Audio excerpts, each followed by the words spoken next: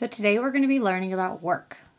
Work is when a force moves a distance, and the distance must be parallel to the force that is applied that gets the object in motion.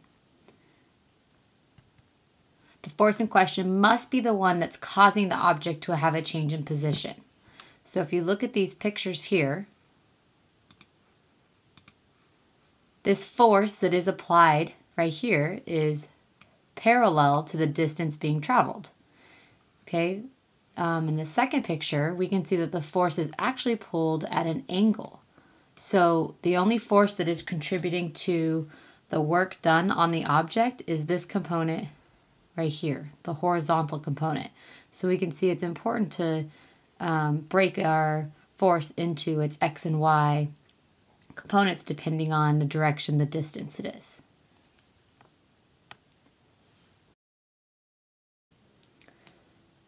So we refer to work as either being positive, negative, or zero. If the force is in the same direction as the movement of the object, for example, pushing a book across a table, then this would be considered positive work. So you can see the force and the distance, same direction, positive.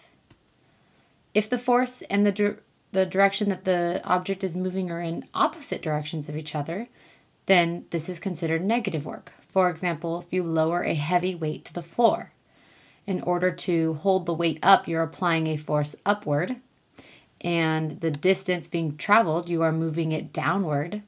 So those are opposite to each other. For zero work, the force is at a 90 degree angle to the movement of the object. So, for example, if you pulled a dog's leash up as you are actually walking the dog forward, then you're doing zero work. So let's think of a real world example. Would I do positive, negative, or zero work if I lifted a 200 pound weight from the floor to waist level? Well, in order to lift the weight, I'm applying a force upward, and the distance it's moving is also upward. So, since they're in the same direction, we would be doing positive work in this case if we moved a weight from one side of the gym to the other side of the gym. We'd be applying a force upward to lift it, and we'd be moving left or right. So those would be perpendicular to each other. So we would be doing zero work in this case. And if we just held a weight above uh, your head for 30 minutes, doesn't matter the amount of time you held it there, since you're not moving a distance at all, once again, zero work. Okay, so when a force moves a distance, we know that work is done. So if this is a simple scenario like shown, our equation would just be work is equal to force times distance. But in this case, when we're pulling at an angle, we only care about this force that is parallel to the distance or the displacement um, that the object moves. So our equation would actually be force times distance times cosine theta or f cosine theta times d would also work. So for some unit analysis, let's look at our equation here. For force, we know that our units are newtons and distance, our units are meters. So either way, our work is a newton meter. We rename this as a new unit called a joule. So a joule is a newton meter. So this is our second new unit that we have, uh, have in physics. The first one was a newton. So for a couple of examples, well, let's start off with a 1300 Newton crate resting on a floor. We want to know how much work is required to move it at a constant speed.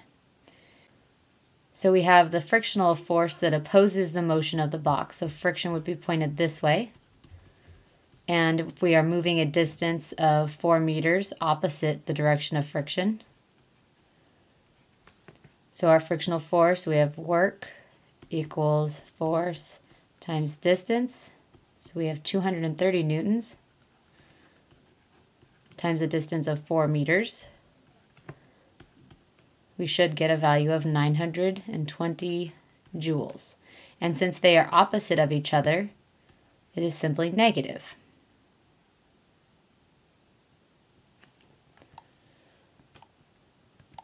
For our second example, let's say we have the same crate but this time we are applying a 500 Newton force at an angle of 10 degrees below the horizontal. So let's say here is our crate and we are applying a force of 500 newtons 10 degrees below the horizontal so here's the horizontal 10 degrees and we are moving it a distance of 4 meters still so the whole 500 newtons is not put into work the only force that is um, going to have an effect on work is this parallel force, this parallel force in this direction. So really we want this component, the x component. So our work is equal to force times distance. So our force is actually not 500, it's 500 times cosine of the angle of 10 degrees times the distance of 4 meters and when we plug this in, we should get something around 1,969 joules. And it is positive work since the force in question, this x component, is parallel to the distance traveled. Okay, for our third example of work, we are going to lift the same 1300 Newton crate vertically off of the floor So if the box or crate itself weighs 1300 newtons to overcome the force due to gravity and lift at a constant speed, we know that this is a situation that's in translational equilibrium, meaning the upward force that's applied has to be equal to the downward force. So this upward force is going to be equal to the weight, which is 1300 newtons. And since we are lifting a distance of 4 meters in the same direction, when we calculate for work, work equals force times distance, we get 1300 newtons times a distance of 4 meters, which is 5,200 joules. And it is positive since it's in the same direction. Okay, so for the fourth example, we are going to find the net work done on a 70 kilogram skydiver as she falls 30 meters.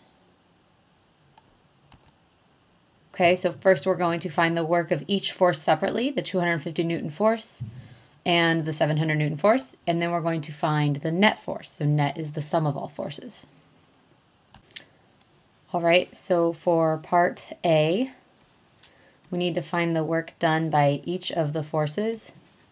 So we have two different work calculations. Um, let's just start with our original equation, work equals FD cos theta, even though there is um, not a clear angle here, but since she is falling, whoa, that should be straight down, 30 meters down. If we look at this first force of 700 newtons, um, there is no angle between these two vectors. They are in the same direction, so our angle for theta is 0, and cos of 0 we know is just 1. So if we plug this in, we get our force of 700 newtons times distance of 30 meters times cosine of 0, which is just 1, so I'm going to leave that out. We end up getting 21,000 joules. And if we solve for the second work of the other force, we have FD cos theta. But since these two vectors, the 250 Newton vector and the displacement vector are opposite directions, there's actually a 180 degree angle between them. So if we take 250 newtons times a distance of 30 meters, and we consider that cos of 180, which ends up just giving us a negative, which is exactly what we want since 250 and 30 are opposite directions, it's a negative.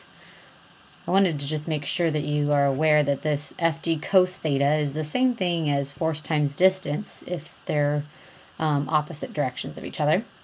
We end up getting negative 7,500 joules.